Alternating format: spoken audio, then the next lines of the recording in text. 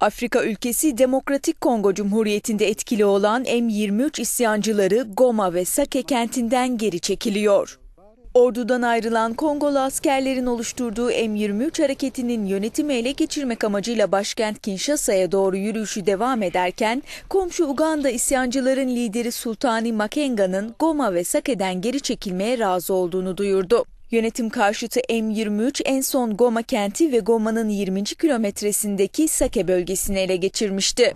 Kongo Cumhuriyeti ise Uganda'nın bu açıklamasına tedbirli yaklaşıyor. Hükümet yetkilileri isyancıların kararı için bekleyelim ve görelim dedi. Hükümet daha önce ne Birleşmiş Milletler Güvenlik Konseyi'nin ne de Afrikalı liderlerin geri çekilin çağrısına karşılık veren isyancılarla görüşmeyi reddediyor.